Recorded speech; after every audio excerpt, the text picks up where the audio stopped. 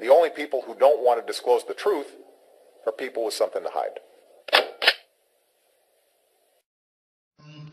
can get by with whatever they decide that they want to do. Like Ted Nugent said, you know, the Fast and the Furious. What's happened with the Fast and the Furious? What's happened with the truth about any of some of the greatest scandals in American history that have happened right before our eyes?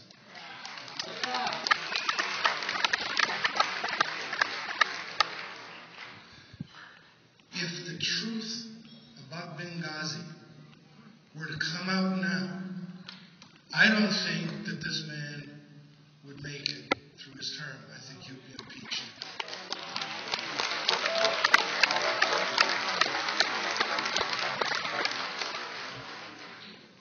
Yeah, America's a great country. It really is a great country because it's a country where we have designed a system based on the Constitution where we have freedom of speech, we're allowed to disagree and say what we want to say, and uh, should not be persecuted for it.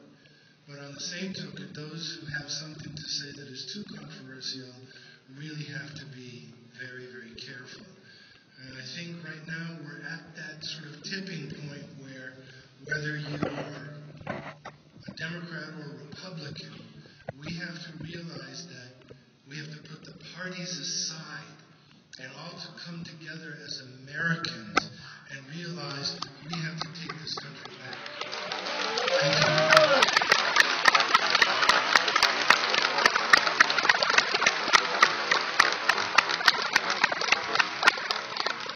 The only people who don't want to disclose the truth are people with something to hide.